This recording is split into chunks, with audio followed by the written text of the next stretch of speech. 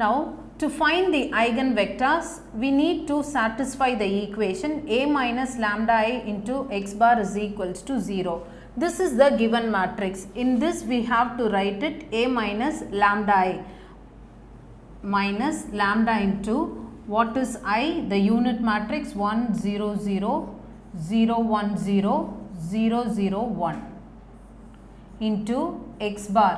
x bar is x1, x2, x3 which is equals to 0. Now,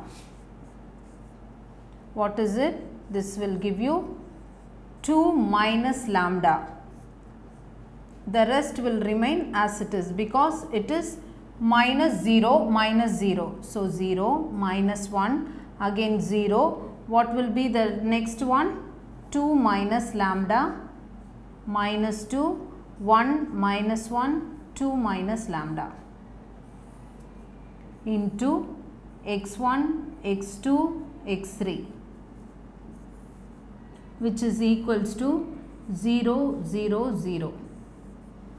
Now to find the eigenvectors, this is the equation a minus lambda i into x bar is equals to 0. That is a will be the given matrix, lambda will be the scalar, i will be the unit matrix.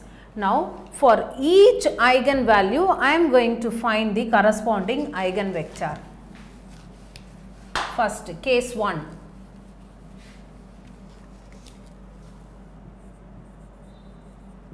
Case 1, what is the first eigenvalue? When lambda is equals to 1. We need to substitute this lambda value here. So, what do you get? 2 minus 1 will give you 1 directly I will write the matrix. Instead of writing 2 minus 1 I will write the matrix as 1 0 minus 1 0 1 minus 2 and then 1 minus 1 1 x1 x bar is x1 x2 x3 which is equals to 0 0 0 now matrix multiplication. What is matrix multiplication? Rows into columns. What is the rows here? x1 plus 0x2 minus x3 equal to 0. The next one is 0x1 again x2 minus 2 x3 is equals to 0. The last row will be x1 minus x2 plus x3 is equals to 0. Now we have got three equations.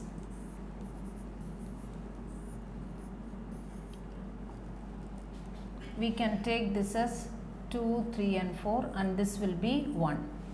Now look at this, we have got three equations. By solving these three equations, we need to get the value for x1, x2, x3 whether by rule of cross multiplication or by assumption method. Any method you can use it whichever is convenient for you. I am going to teach you both the methods. First, when you take the first equation from 1,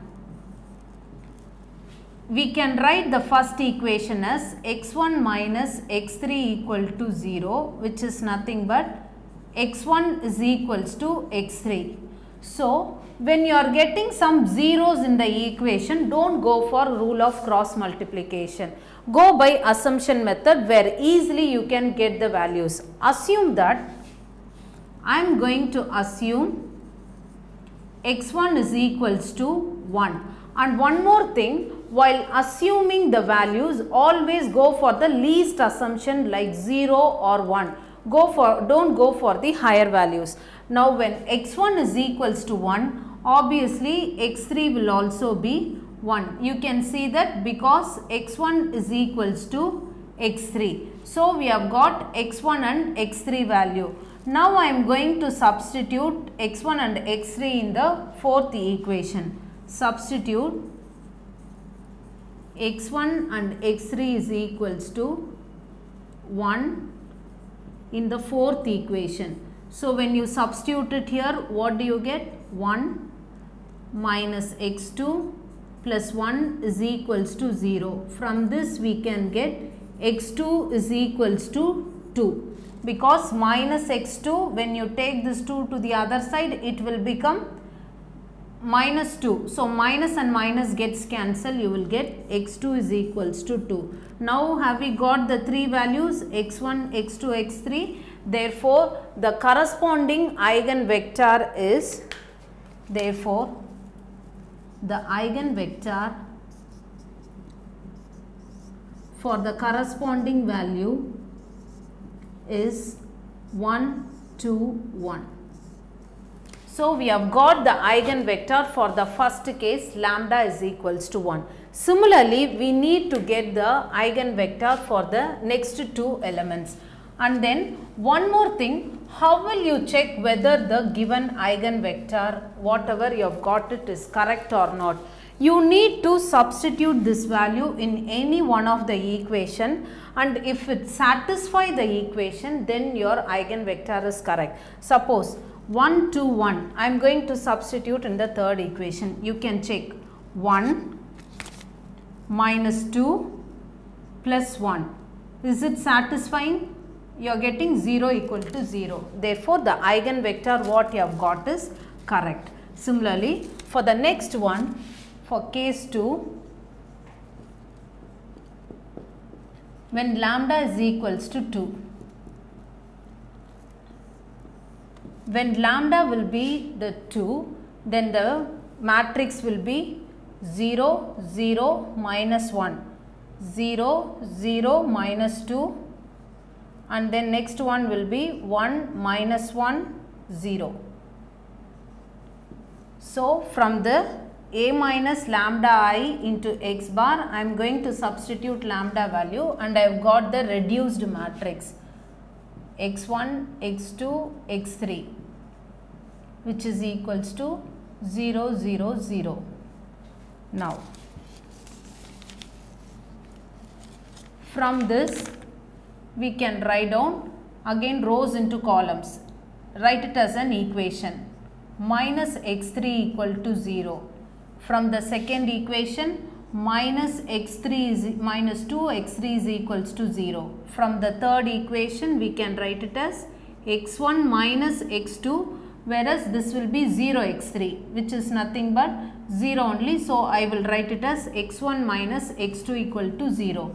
Take this as equation 1, equation 2, equation 3. Now, from the equation 1 and 2 we can directly say that x3 is equals to 0. We can see that from equation 1 and 2 we can directly say that x3 is equals to 0. Now from equation 3 we can write x1 is equals to x2. Therefore, assume that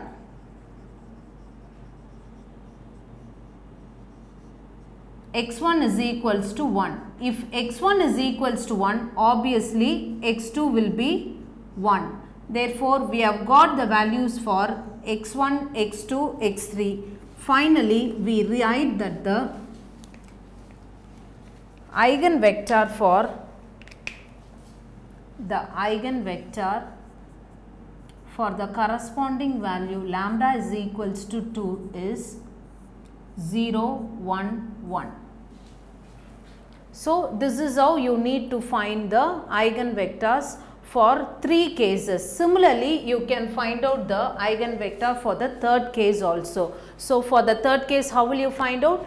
You will substitute when lambda is equals to 3, you will get some reduced matrix.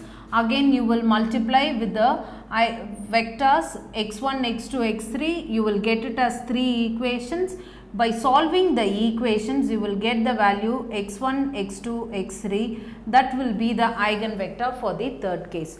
This is how you need to find the eigenvalues and eigenvectors.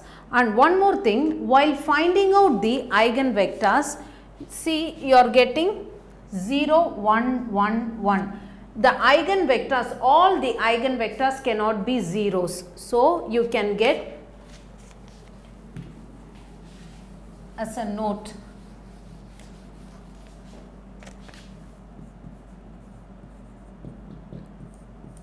All the eigenvectors cannot be zero.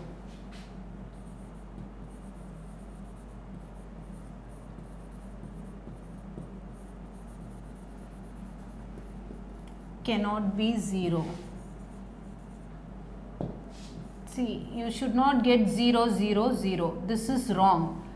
Whether you can get 0, 1, 1 or 0, 0, 1. You can get two zeros but all the eigenvectors cannot be 0. And one more thing, eigenvectors cannot be a fraction. Always you have to get it as a value and then while you are doing the assumption, go for the least value 0 and 1. This is how you need to find the values, eigenvalues and the eigenvectors. The first step is characteristic equation and the next step is roots of the characteristic equation and the third one according to the given eigenvalues you need to find the eigenvectors.